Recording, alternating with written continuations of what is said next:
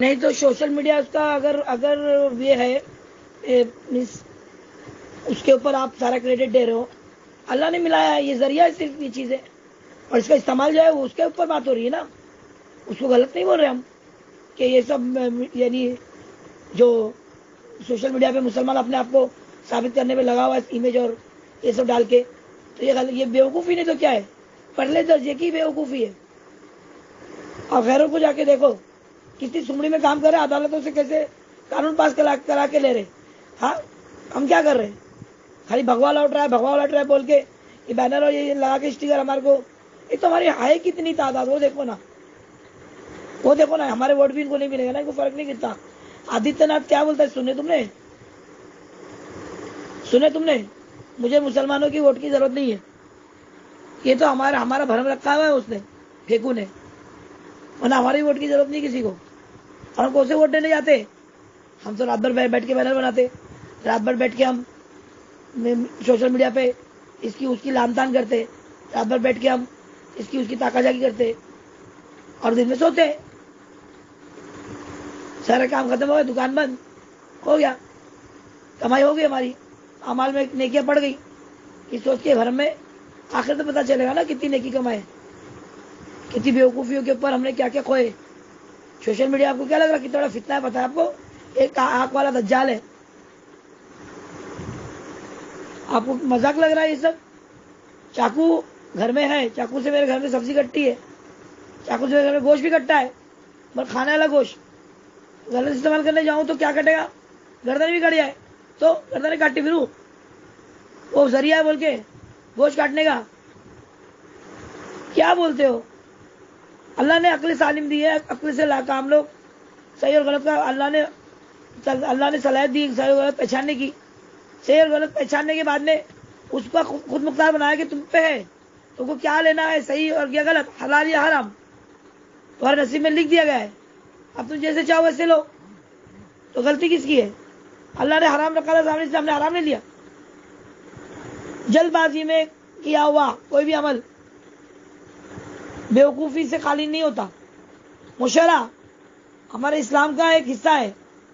हमारे इतने बड़े आका नबी पाक मोहम्मद वसल्लम, वो मशरा उनको क्या ज़रूरत थी मशरा करने की? फिर भी वो, जबकि वो तो अल्लाह के साथ डायरेक्ट मशरा कर सकते थे। और करते भी थे। उसके बावजूद भी अपने साहबा को लेके, अपने साथियों को लेके मशवरा करते थे ना। उनको हिस्सेदार बनाते थे ना, नेकियों का। उनको भी उसका तो ताकि वो भी आगे जाकर ये काम उनके बात करे और करे उन्होंने। कैसे किया उन्होंने फिर? आप को क्या ज़रूरत थी? किसी को भी मशवरे के लिए किसी से भी राय लेने की ज़रूरत थी, लेकिन वो हिकमत के तहत था कि आगे जाकर लोग इस तरह करें। रसूल पाक की पूरी ज़िंदगी एक अमल, एक आयत देख लो आप, उनकी ज़िंदगी के ऊपर मुश्तमिल है। और उसी को कोट करके आज हम हम ज़िंदगी जी रहे कुछ भी कुछ हुआ तो हमको उसी तरीके से चलना है। जो हमें इतने इतनी बेहतरीन हमारे लिए सारी। हाँ चीज़ें वाजे तौर से बता दी गई तो फिर भी हम बेवकूफियाँ करेंगे। आपको लग रहा है कि आप सही कर रहे हो? आप, मैं जब बोल रही आपको कि ये लोगों का सारा फैलाया हुआ जाल है, उसके बावजूद भी खुद जाके फंसना। किसी को क्या बचाओगे जब खुद फंस रहे हो तुम? एक बंदी बुरका पहन के, उनकी जात जमात की अपने यार को मिलने जाती है। ऐसी बोलूँगी मैं। मेरा दिमाग खराब होता है। तुमको ऐसी भाषा समझ में नहीं आ रही तो ऐसी। और वो हराम का जना, उसके साथ में बाइक पे पीछे बिठा के वो गले में हाथ डाल के, मेरी एक मुसलमान लड़की बताओ इतनी बेबाकी से उसने इस तरीके से वीडियो बनाई है और पकड़े जाने के बाद उसका मुँह काला किया किसी मुसलमान ने जाके उसके घर पे आके पथराव किया है, उसके माँ बाप को लान तान किया है। किया है? क्योंकि हमारी मुसलमान बच्ची ने इतनी हरकत नहीं की। नहीं की। ज़बरदस्ती मत मत बेकार में इतने इल्ज़ाम दो कि सामने वाला वो करने में मजबूर हो जाए या करने पे आमादा हो जाए कि उसने तो की भी, मैं करी तो क्या? आप रास्ता दे रहे हो। आप रोक नहीं रहे हो, आप रास्ता दे रहे हो। वो लड़की गले में हाथ डाल के उतनी गंदी गंदी बातें कर रही है और इतनी बेहुदा बातें कर रही है वो लड़के के साथ में। हाँ अल्लाह रसूल के मैं तो पूरा सुनी भी नहीं, मेरे को तो मेरे बर्दाश्त नहीं है। तो मैंने उसको ढूंढना, मैंने सबसे पहला मकसद बनाया। और सारा खुलासा हुआ जब कि वो मुसलमान नहीं है और वो उसको मिलने के लिए जाती थी तो वो उसकी फरमाइश थी या फिर ये किसी के डर में मुझे लगता है किसी डरती होगी। ये बुरखा पहन के गई। और इसने इस तरीके से उसको मुसलमान बताकर उसने ऐसा वीडियो बनाया और इसने आर एस एस को टैग किया। आर एस एस ने उसका फ़ायदा उठाते हुए उसकी प्रिंट बनाई। उसकी उसके उसकी जो है वो स्केच बनाई। वो स्केच बना के उसको भगवान रंग रंग दे दिया। और बुरखे में क्या क्या देखो ना उनके लिए कितनी बड़ी चीज़ है वो। कितना वायरल हुआ पता है वो फ़ोटो उनकी तरफ़ से। आज खाली उसके ऊपर तुम क्रॉस मार दिए चौकड़ी मार दिए तो ये डीपी तुम्हारी होगी ये तुम्हारे हक, हक में हो गई शैतान को दिखाकर खाली क्रॉस मार दोगे एलोमिनाती का सिंबल दिखाकर खाली ऐसा क्रॉस कर दोगे चौकड़ी मार दोगे तो उसमें तुम्हारा अधिकार हो गया। एंटी मुस्लिम एंटी क्या बोलते हैं? लवजात क्या क्या नाम दोगे? खाली क्रॉस मारने से। ये कहाँ से तुमको कौन बताता है ये सब? इतने भारी भारी आइडिया कैसे आते हुए रमज़ान में आ रहे। भारी है। हद है लेकिन। उन्होंने उस चीज़ के लिए, शैतान ने उसको कितना अच्छे से प्लानिंग करके, भलती लड़की और भलता का, ये करके हमारे हमारे मज़हब का नाम, हमारे मज़हब को टारगेट करके उन्होंने इतनी वाहियात वीडियो बनाई। उस पर किसी ने केस किया? नहीं ज़रूरत है। उसकी फ़ोटो जो इमेज बनाई वो तुम्हारे मुसलमान भाई ने बनाई? नहीं। किसी गैर जगह ने बनाई? नहीं। कौन बनाया? उन्हीं के लोगों ने। क्यों? प्रचार के लिए। क्यों? मुसलमान लड़कियों को फंसाने के लिए। लेकिन वो जिसकी तस्वीर बनी है, वो मुसलमान है क्या ये तुमने जानने की कोशिश की? ये मैं तुमको बता रही हूँ, आज से दो साल पहले बता चुकी हूँ, जो नहीं थे उनका, उनकी गलती नहीं है, लेकिन जो थे, उनको तो मालूम है ना। कि दो साल पहले ये चीज़ आप आने सामने लाई और बिहारी लड़का और लड़की, इनकी ये वीडियो और इनको किसी ने भी कोई कुछ नहीं बोला, पता है क्यों? क्योंकि इन्होंने अच्छा काम किया उनके हिसाब से। ये करने का उनको जो टैग उनको जो है वो टास्क दिया था। और टास्क में इतने के भारी हो गया ना उनका तो कि उनकी इमेज को मुसलमान भी लेके चल रहे। अपनी मुसलमान लड़की की इज़्ज़त उतारने के लिए और वो लोग हमारी लड़की को भगाने के लिए झूठ है। ऐसे नहीं तो वैसे। इज़्ज़त तो मेरी बच्चियों की जा रही ना। तुम्हारा क्या जा रहा? तुम्हारे बैनर पे वहाँ लिख दो। लिख दो, सकीना, सलमा। बराबरी में बात करो ना फिर सामने वालों के। लिख दो। वो भी कर दोगे तुम। सकीना, मत जा उनके पास। मैं तेरे लिए अच्छा लड़का ढूंढ के लाऊँगा। जैसे बोल रहा है सलमा आ मेरे पास। ये लोग तुझ पे पाबंदी करते हैं। अरे मत करो यार उनकी देखा देखी। सिर्फ़ यहाँ से वहाँ लफ्जों के खैर फेर हो रहे हैं और कुछ नहीं। किसको जवाब दे रहे हैं वो तुम्हारे जवाब? तुम्हारे जवाब के मुंतजिर है वो लोग। वो तुम्हारे जवाब की मुंतजिर है। मेरी लड़की दिखा दो जिसने गले में हाथ डाल के इतनी बेबाकी से बैठकर। इस तरीके से जवाब दिए? मुसलमान होने के नाते उसने मुसलमान होते हुए उसने अल्लाह रसूल के खिलाफ बात की है। ऐसे लड़कों को दर्जी दी है। मुझे बता दो, चलो। अरे, वेश्या की भी लड़की होंगी ना मुसलमान में, वेश्या की। वेश्या की रोज अपना जिसम बेचने वाली और अपनी बेटी की अभी दर्द और इससे भी गंदा क्या बोलू, बोलो? वो भी नहीं करेगी ऐसा। उसके बाद भी उसको तुम लोगों ने एकदम यानी चस्पा कर दिया कि ये मुसलमान ही है और हमारी लड़कियों को इससे इतने पे आने के बाद तुम बचाओगे? तुम बचा लोगे? औरत जब नंगेपन पे आती है ना तो सबसे पहले ना, वो मर्द, उस मुआशरे के मर्द नंगे होते हैं। सबसे पहले वो उनकी औकात सामने लाती है कि देखो, ये लोग मुझे रोकने के लायक नहीं है, इनकी औकात ही नहीं है। अगर वो नंगेपन पे आ गई ना तो सबसे पहले सारे मुआशरे के मर्द हो गए, वो देखने वाले, वो सुनने वाले, वहाँ रहने वाले, और उसे नहीं रोकने वाले।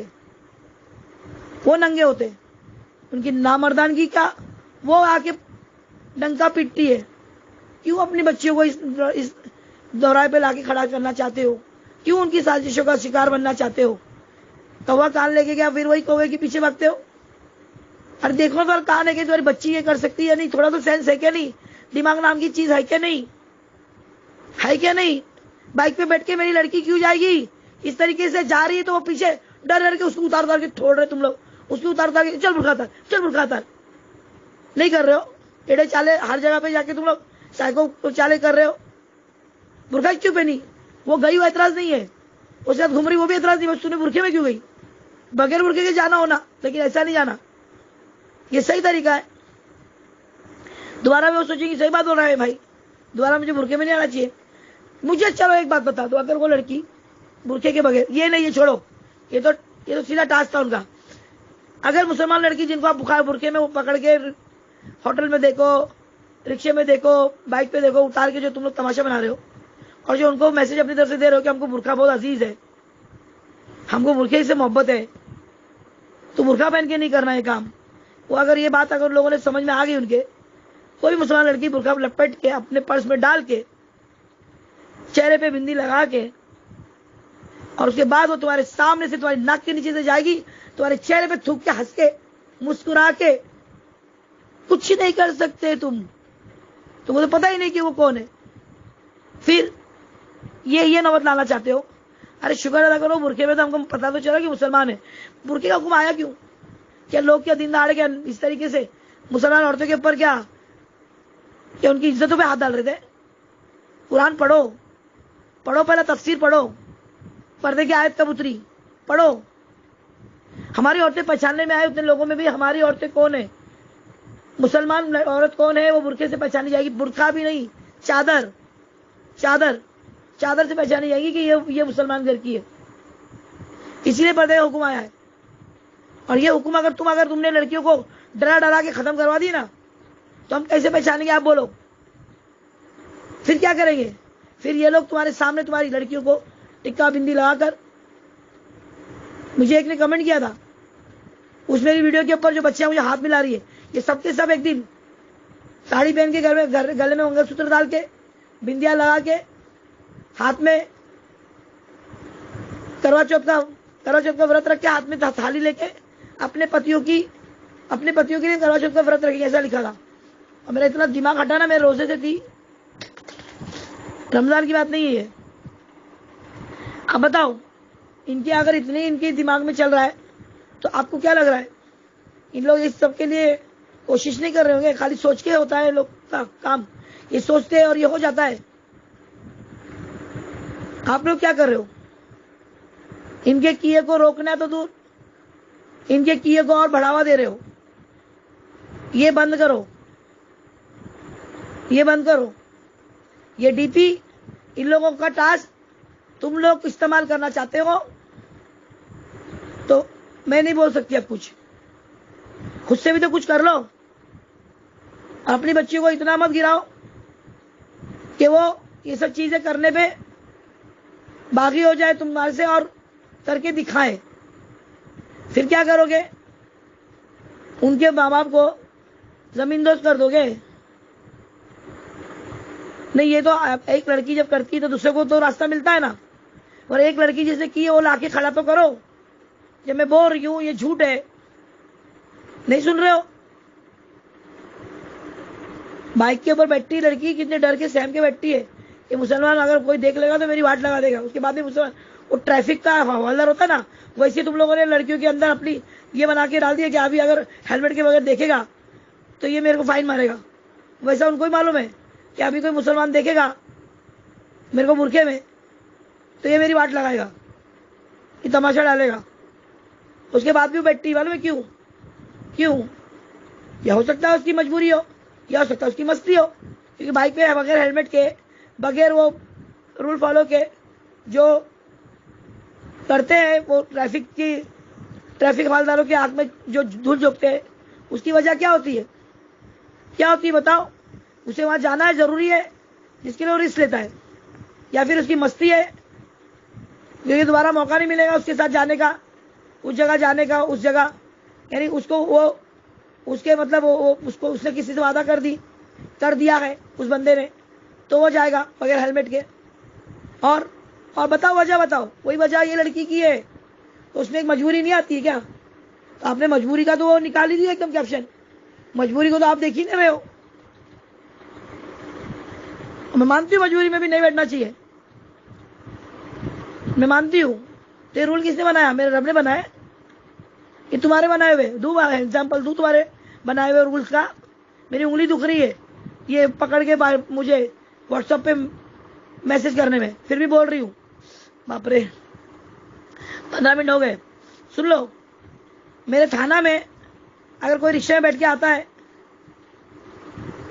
और मीटर का वो चाल, जो चालान है, मीटर का जो उसका मीटर जो गिरता है, वो पैसा देता है। ये रूल यहाँ से थाना थाना से लेके कलवा तक है। मेरे घर से ऊपर से लेके कलवा तक का ये रूल है। रूल बदल दिए तुमने वहाँ पे अल्लाह ने नहीं बदला। वहाँ से पंद्रह रुपए सीट है मुमरा तक। पता नहीं कितना है, मेरे को नहीं मालूम। जो भी है, पंद्रह है, बीस है, जो भी। सीट है, वहाँ से मुमरा तक या कौसा तक। तो एक ही को लेके आता है बंदा। कितने को बिठाता है? कितनों को बिठाता है? तीन को बिठाता है ना? अब उसमें औरत है या मर्द है, वो मुसलमान रहता है कि नहीं, वो भी देख लो। मुसलमान रिक्शा वाला। बाजू में मर्द बैठा है तो भी बिठा रहा है बुरखे वाली हो, चाहे वो टिक्के वाली हो, चाहे वो आदमी पंजाबी हो, चाहे वो महाराष्ट्रन हो, या आरएसएस का हो, उसके बाजू में बैठाने के टाइम ये नहीं सोचता है कि हिंदू या मुसलमान है, वो ये सोचता है कि मेरा गिराक है। उस वक्त वो अपने कैरेक्टर में आ गया। और ये जाने वाला इसको वहाँ तक पहुँचना है। सफ़र के मामले में इतना ध्यान नहीं देते क्योंकि उनके ऊपर कुछ जिम्मेदारियाँ हैं और उनका मकसद पहुँचना है उस घर वहाँ तक। तो वो अपनी हैसियत के मुताबिक पहुँच रहे शेयरिंग रिक्शा पे उनको सस्ता पड़ता है, पूरी रिक्शा हायर करने से उनको नहीं अफोर्ड कर सकते इतना रोज का कभी कभार का ठीक है। अकेला इंसान पूरी रिक्शा हायर करके जाता है, लेकिन जो रोज जाने वाला है, कैसे जाएगा? तो वो रिक्शे में बैठा और जब तक सीट नहीं आती, तब तक वो रिक्शा खड़ी रहती चलो, अब मैं आपको लेती हूँ, तुम्हारा आप भाइयों को लेती हूँ मैं। आपके लिए कुछ एक संगी लोग बोलते हैं ना हम लोग आपके लिए कुछ नाम रखना पड़ेगा। आप लोगों का दिमाग वहाँ पे दौड़ेगा। हाँ ये कब से बैठी है? ये ज़रूर किसका इंतज़ार कर रही है? ज़रूर इसको कोई मिलने आने वाला है। इतने में कोई बंदा आता है तिलक लगा के टिक्का लगाया हाथ पे कड़ा। मस्त एकदम गले में ये माला बिला सब। आके वो उस लड़की के बाजू में उस रिक्शा में बैठ गया।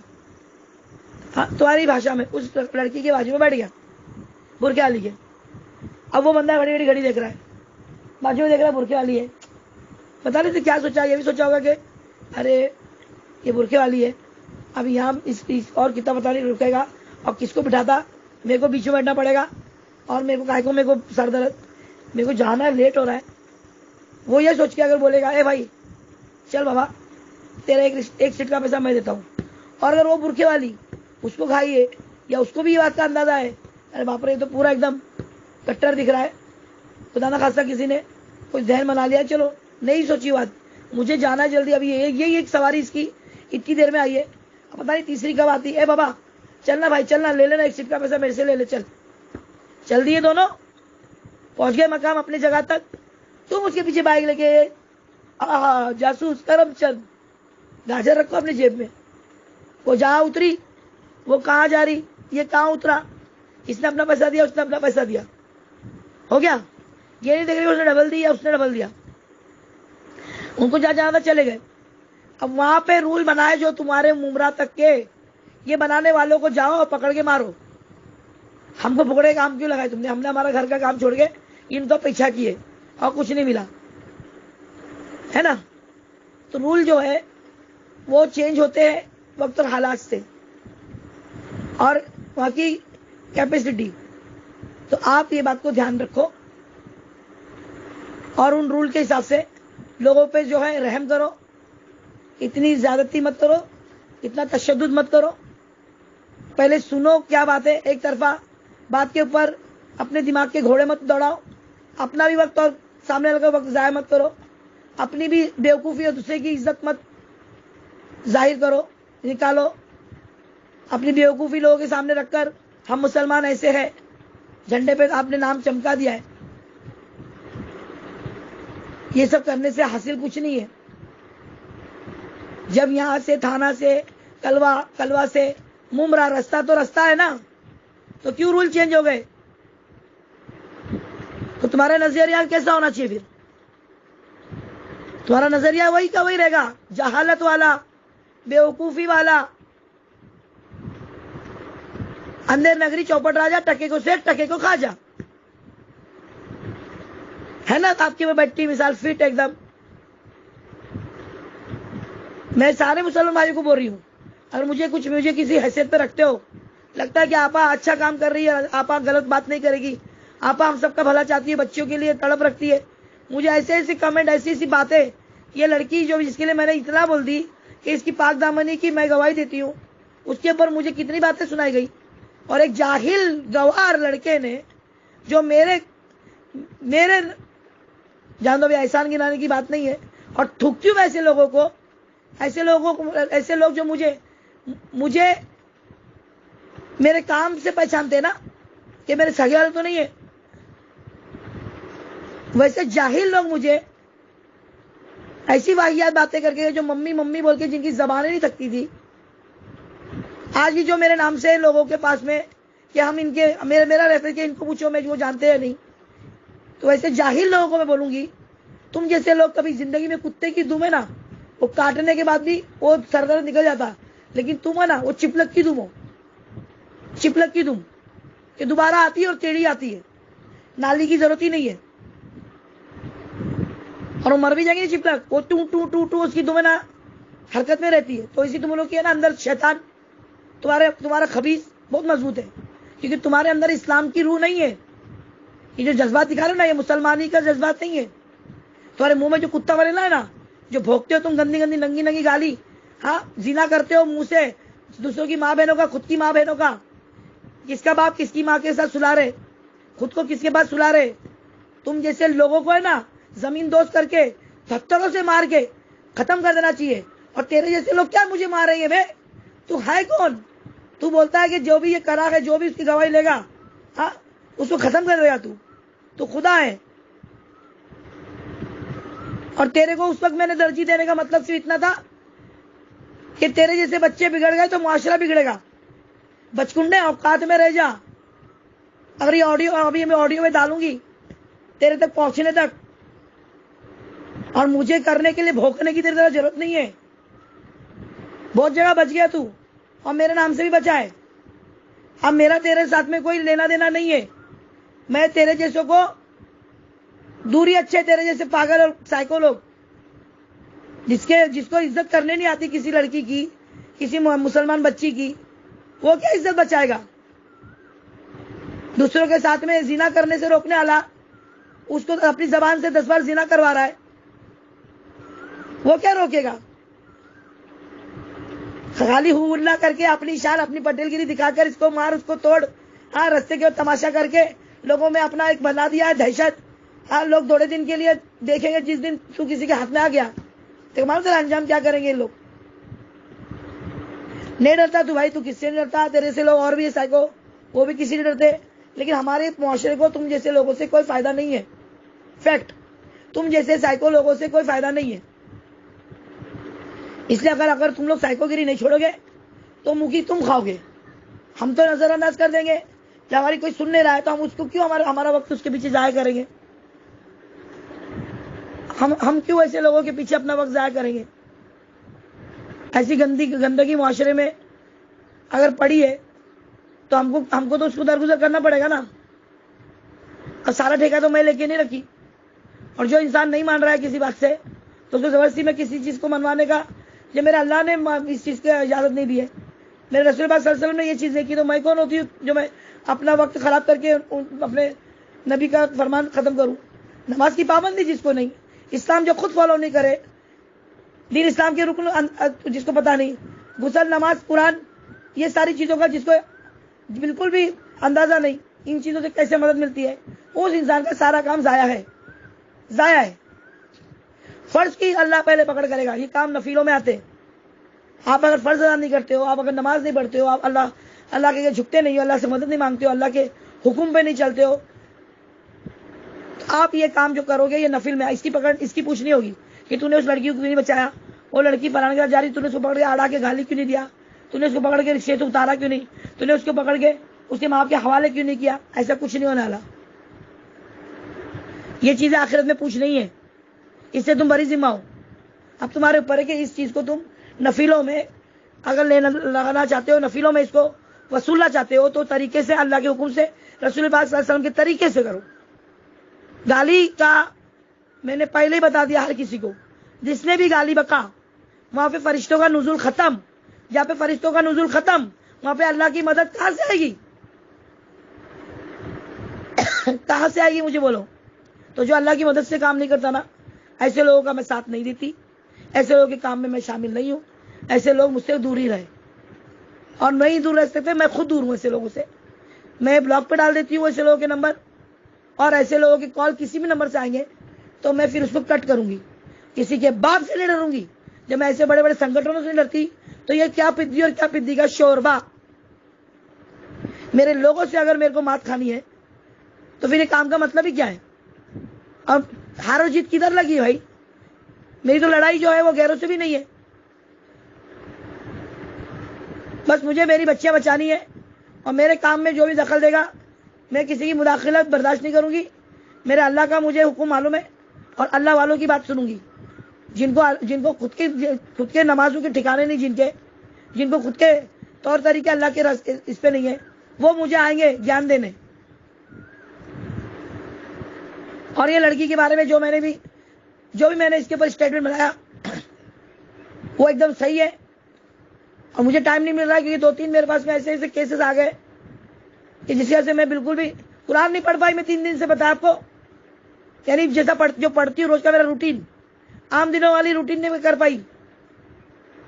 इतना काम बढ़ा दिए मेरे को। लेकिन मैं इस काम को भी इबादत में शामिल करती हूँ क्योंकि ये भी अल्लाह कबूल करेगा। सवाब जारिया वाला काम है। मेरी अभी उंगली बहुत दुख रही है। मैं इतना टाइम तक नहीं बाबा छब्बीस मिनट हो गए। अब वो डीपी के ऊपर का मामला खत्म हुआ और कुछ पूछना है तो मुझे वापस पूछो, मैं वापस आपको पूरा फिर से बताती हूँ। ठीक है? अब ये बेवकूफिया मत करो। मैं शबीना अनिस कुरेशी, हिफाजत नस्ल और किसी सवाल के लिए nine eight two one five four eight zero two nine इस नंबर पे आप मुझे कॉल कर सकते हो।